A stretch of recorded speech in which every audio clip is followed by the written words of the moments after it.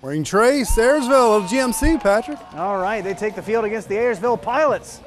See if they can fly out of here with a win. Quarterback Trevor Spees on the keeper and takes the run to the outside. Nice pickup there. And then on the next play, Spees is going to find Evan Moore.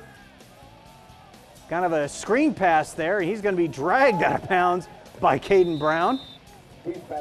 But they, they said to keep the clock moving. So, all right. So Spees finds Mox Price on the short pass to the sideline. Their time he got out of bounds. It's going to be Spees again on the keeper. Going to just take care of business himself, and he is going to get pushed out of bounds. So using that sideline very effectively on this particular drive. Then Spees is going to look opposite side, looking for Evan Moore.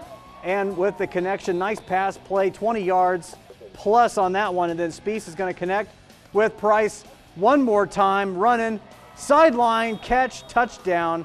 It doesn't get any prettier than that. Wayne Tracer winner tonight, 46 to 6 over the Ayersville Pilots. Coming up.